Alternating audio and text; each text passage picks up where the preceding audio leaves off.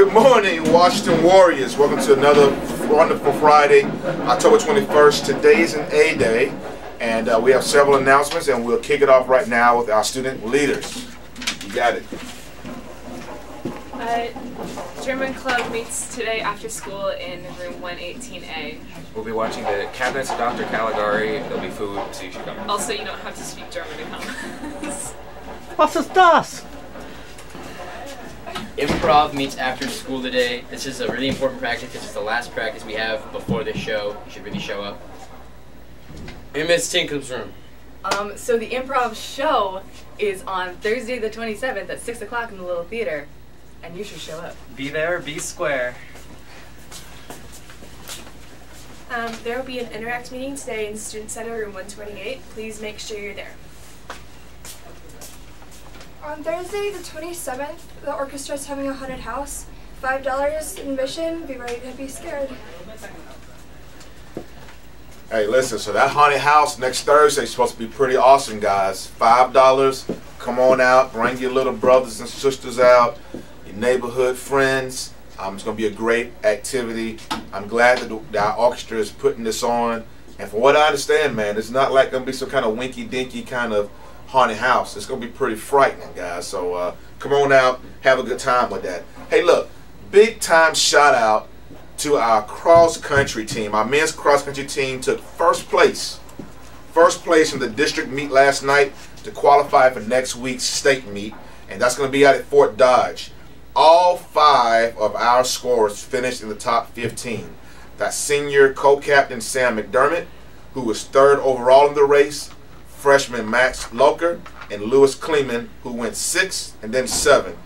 They're running like wild hyenas out there. Senior co-captain Patrick Gorman, who came in 12th, and sophomore Paul Schneiderman, who finished 15th. Also turning in personal record performances was junior Caleb Kleeman, uh, 26th overall, and senior Joshua Linden, uh, Leiden rather, who was 39th. Great, great accomplishment, guys. You did a great uh, job on it. I was sitting out at the uh, uh, heading out to the leadership retreat and got a text about it, and man, it was it was good stuff. So uh, very proud of you guys, and you know, you're going to Fort Dodge next Saturday. Do a great job. Try to bring that thing home, and uh, we're very, very, very, very proud of you. Uh, this is an announcement for cheerleader tryouts today. Uh, so Monday, I'm sorry, this is an announcement for cheerleader tryouts. For Monday, October 24th, 25th, and 26th from 5 to 7 will be tryouts. You must attend Monday or Tuesday in order to try out that Wednesday. So reminder, you, in, order, in order for you to try out on Wednesday, you have to show up Monday or Tuesday. Wear shorts and t-shirts and tennis shoes and we will find wrestling. Uh, we will fill wrestling, varsity, and JV, and then soon we'll be filling the boys basketball, girls varsity basketball, and boys varsity, varsity basketball squads. Practices will be Mondays and Wednesdays, 3:30 to 5:30, um, and that's from Coach Nimmers. So good job on that, guys. Uh, be reminded that uh, if uh, about the speech. Uh, the speech contest that's happening with the American Legion Oratorical Contest. This is open for students grade 9 through 12. And uh, students can write and give an 8 to 10 minute speech on some aspect of the U.S. of the U.S. Constitution. The top prize at the local level is $200. And if you move all the way to the national level, there's a cash prize of 18000 Anyone interested should see Miss should see Miss Tinkham in room 218 and the deadline for entry is November the 16th. Uh, remember that this Sunday, the 23rd, from 1 to 4 o'clock, uh, we'll be celebrating the 49 years of outstanding service by Dr. Plackman. Uh, so please come out and join his retirement open house this upcoming Sunday. Any junior or senior interested in applying for a semester two internship through the Workplace Learning Connection must complete an application material by Friday, November the 4th. Application can be found at workplace-learning.org. Once again, that's workplace-learning.org. See your counselor to be sure if you can fit an internship into your spring schedule before applying.